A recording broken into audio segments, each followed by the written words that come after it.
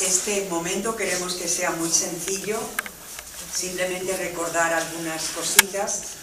Hace más o menos 130 años que María Antonia París dejaba esta casa. Las hermanas, las alumnas, las amistades, los conocidos en Reus. ¿no? Era una mañana de invierno, el 17 de enero de 1855. Ese día terminaba su peregrinación. A lo largo de su propia vida, con su propia experiencia, nos enseñó que debemos vivir como peregrinos en esta tierra, sin otra riqueza que Jesús, Señor nuestro. Alguno quizás se pregunte qué, hizo esta mujer o por qué se le dedica un museo, qué importancia tuvo.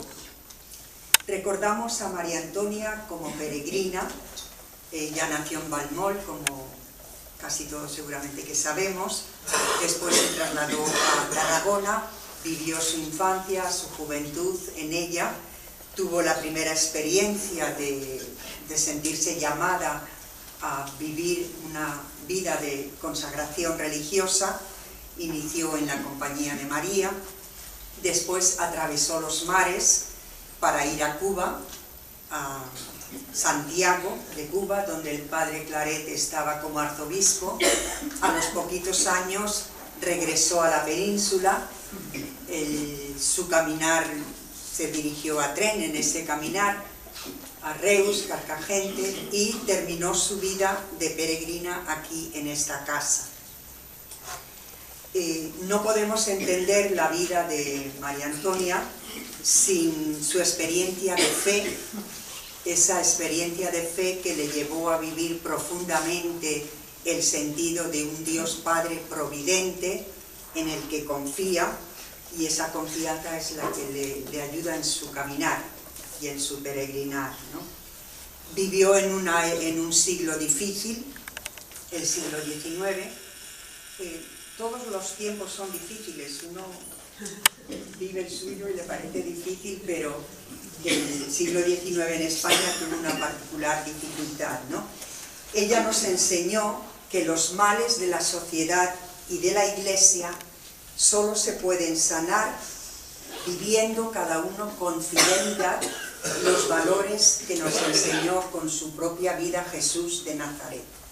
La vida de ella nos lo muestra y su ideal evangélico encontró seguidoras no solo en su momento histórico, sino posteriormente también, y nos dejó una herencia.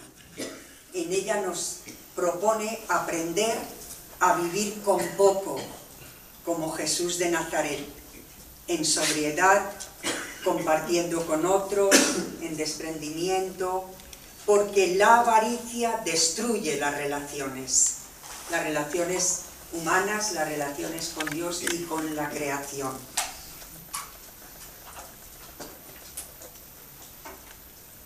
Nos enseñó a crear lazos de fraternidad, a vivir juntas, a trabajar por hacer familia con, entre nosotras y con todos aquellos con quienes nos relacionamos, a compartir lo que somos, intentar crear casa en la que todos se puedan sentir como hogar, nuestras comunidades, nuestras relaciones que sean de acogida. Y sobre todo nos invitó a llevar siempre el Evangelio en el hacer, en el vivir y en la palabra, también en el anuncio, para que nadie quedara fuera de su alcance fuera de ese Evangelio que nos trajo Jesús, ¿no? Porque ese Evangelio es luz que alumbra nuestros caminos, nuestra existencia, nuestras búsquedas.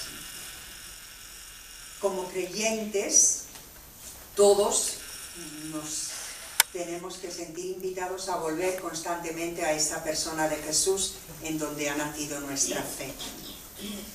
Nosotras como claretianas, llamadas a llevar la palabra de Dios, queremos incluso con el museo que también sea un testimonio de, a través de la vida de María Antonia y de los recuerdos que de ellas tenemos, aprender a anunciar.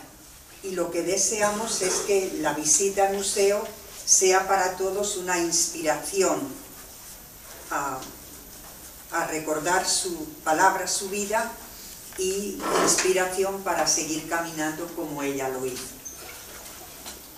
Una labor marcada por, su sello personal y su tenacidad que se inició en Cuba, donde fue capaz de impulsar un proyecto personal, una nueva orden para dar respuesta al que para ella eran imperativos de actuación hacia los demás, especialmente las niñas, y entre las niñas les més pobres. Aquest espai expositiu que amplia el projecte iniciat fa uns anys serà sens dubte un espai de referència per aprofundir en els detalls d'aquesta tasca i sobretot per reconèixer la personalitat de Maria Antònia París i actualitzar el seu missatge, el seu exemple. I també, evidentment, per recórrer la trajectòria de les missioneres claretianes i del seu paper en un àmbit tan important com és el de l'educació i en què la nostra ciutat ha estat sempre, sempre compromesa. Enhorabona en nom de tot el consistori municipal i moltes gràcies. I com ella diu, faré seva una frase que em va agradar molt quan la hermana Yolanda me va enviar. Siempre he tenido continuamente delante de mis ojos al Señor, persuadísima de que siempre estará a mi lado para Thank you.